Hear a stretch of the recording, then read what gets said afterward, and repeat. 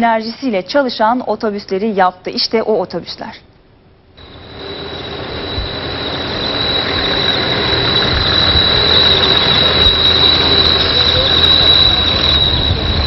İstanbul trafiğinde artık yeni bir misafirimiz var. O misafiri çok seveceğiz çünkü tam bir çevre dostu. Hemen yanımda gördüğünüz bu otobüs İETT'nin güneş enerjisiyle çalışan ilk otobüsü.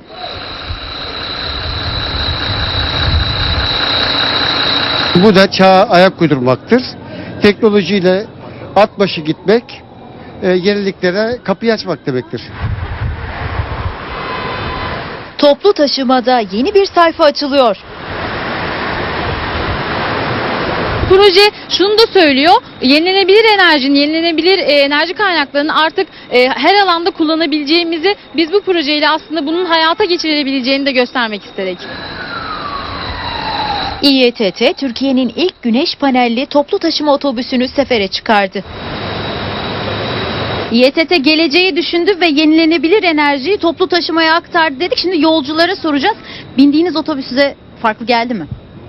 Aslında bakıldığında normal bir otobüs gibi ama teknik olarak hani sizin de bahsettiğiniz gibi güneş enerjisiyle çalışıyor ve çevreye karşı çok duyarlı yani. Bu otobüs tüm enerjisini güneşten elde ediyor.